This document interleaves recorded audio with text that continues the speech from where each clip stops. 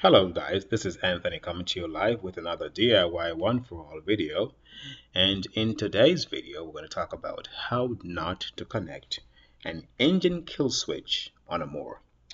And the reason why I'm sharing this video again is because I recently did a, I did a video where I attempted to draw an engine and a kill switch. Well, as you know, I am not the best artist, so what I did, I've redone the images not myself, but I got some images off the internet to better illustrate what I was trying to share in the previous video.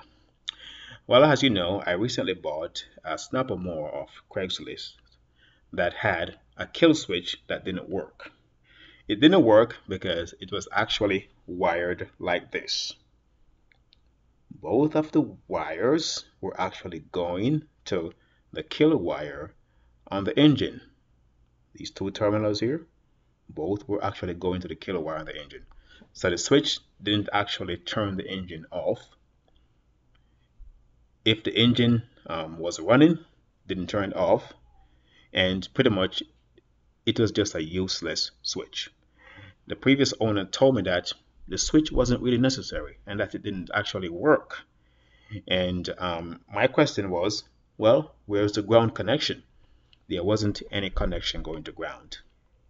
As you know, in order for a kill switch to work, you will actually have to ground out the spark plug or the ignition coil. So you have to have one connection going to ground and one connection going to the ignition coil. Not both connections going to the ignition coil. So this is a correct way that a kill switch should be wired. There has to be a connection going to ground and one connect connection going to the ignition coil.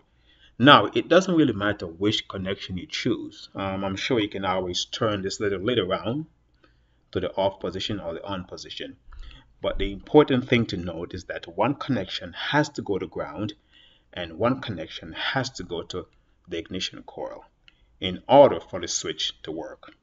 So guys, I just wanted to share this video with you again, just in case you have an issue with a kill switch not working on a mower, or you may have tried to um, wire your own mower or install a kill switch, or you want to install a kill switch on your mower. Well, this is how you do it. And again, this is Anthony coming to you live once more with another DIY one for all video. I hope you found this video helpful.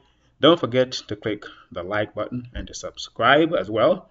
And feel free to share this video as well and tell your friends about this video. It really helps me out a lot. Thank you for watching guys and you have a great day. Bye now.